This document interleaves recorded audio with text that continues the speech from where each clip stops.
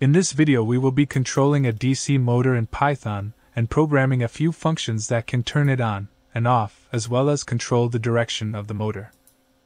For this project we will need the following parts our Arduino, a breadboard, a breadboard power supply, a battery, a connecting wire for our battery and power supply, a L293D chip, a motor with connecting wires, an optional fan blade attachment, and 8 male to male jumper wires. First, let's connect our breadboard power supply. We have to use an additional power supply as when we connect a DC motor in a circuit, it drains a lot of power. So we can supply additional power from a battery. The power supply unit will connect directly into your breadboard. It should be placed with the positive side connected to the positive bus of the breadboard, and the negative side to the negative bus. It has the option to supply 5 volts or 3.3 volts depending on which pins are selected. We can select the power supply by rearranging the plastic voltage selector. The power supply operates off a switch.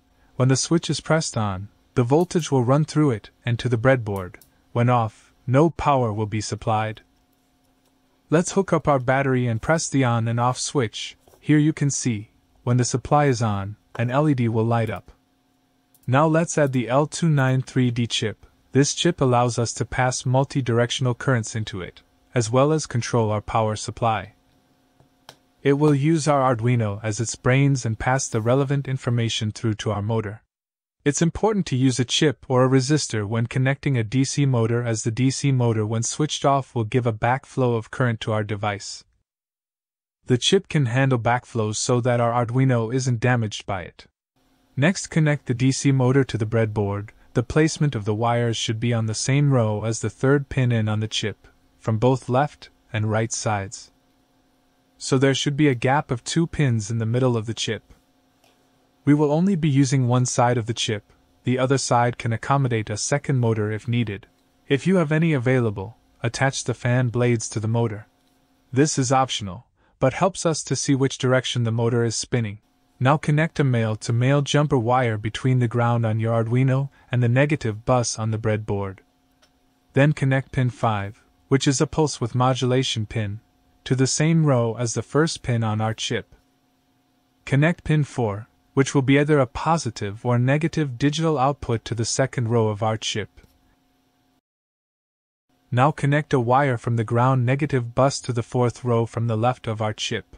Then connect pin 3, which will also be either a positive or negative output pin, to the seventh pin from the left of our chip, or the second from the right.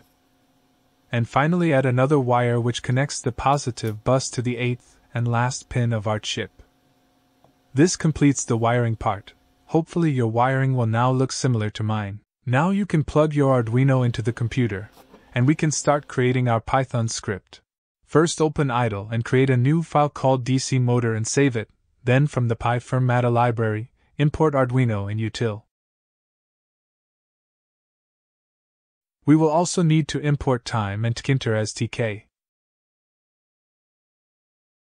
Next let's define the USB port that our Arduino will be plugged into, here I'm using COM3.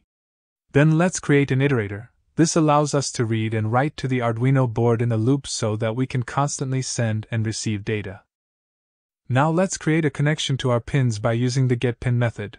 We will need to get pins 3, 4, and 5. D stands for digital, then the pin number, then O for output, for pin 5, instead of an O. We need to type P, as it is a pulse width modulation pin. These pins can take a decimal value between 0 and 1. For instance, if we wrote 0.8 to this pin, the motor would run at 80% speed.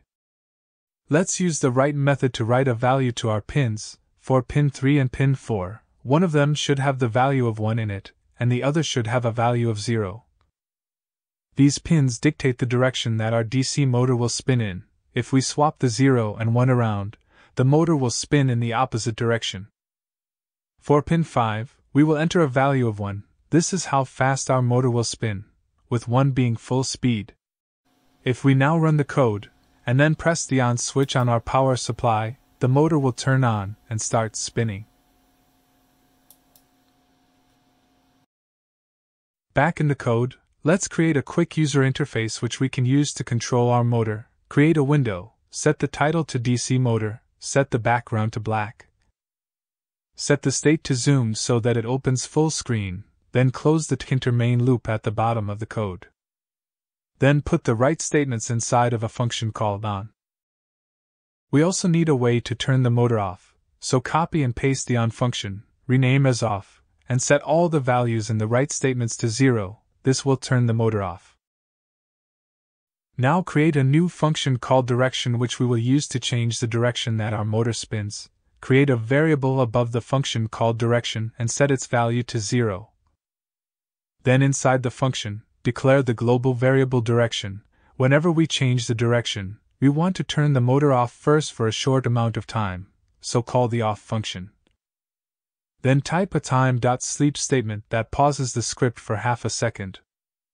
Whenever we use this function, we want to change the value of direction from either a 0 to a 1, or from a 1 to a 0, so type if direction equals 1, set it to 0, else set it to 1. Finally, when the function finishes, we want to start the motor again, so call the on function. Now, in our on function, based on the value of our direction, we want to reverse the polarity of our write functions. To do this, first declare the global variable direction. Then create a statement that says, if direction equals 1, then set direction 2 to 0, else direction 2 equals 1, then in the function create a variable called direction 2 and set it to the value of 0. Now we will have two direction variables that are opposite to each other.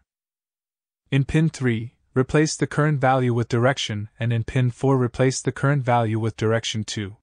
I made a mistake in my code here and entered the value of direction 2 in pin 5 but I will correct this shortly.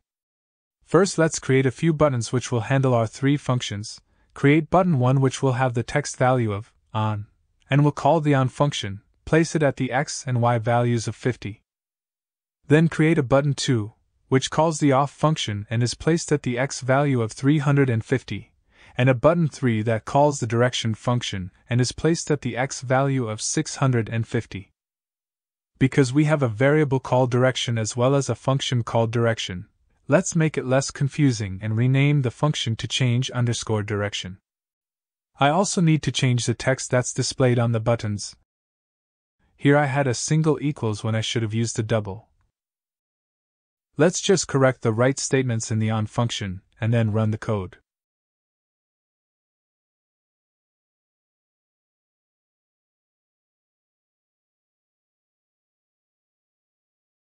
If we now turn on the power on our breadboard and press a few of the buttons, you will see that the DC motor updates based on the functions in our Python script.